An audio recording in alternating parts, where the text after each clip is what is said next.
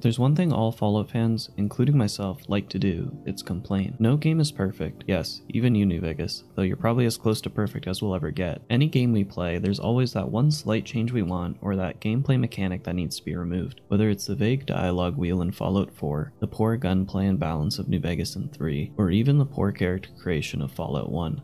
Like, why would you ever take the mutate perk? So, with that being said, what is your dream Fallout game? It could be a new setting, it could be a new feature, it could be a weird amalgamation of the games. I think mine would be a co-op game where both players feel like they're well integrated into the story. Like it's not just player one's game with player two living in it, but both players can affect the world somehow. It'd have the RP elements of 3 in New Vegas, with the gunplay from 76, probably set in Seattle, Toronto, or New York.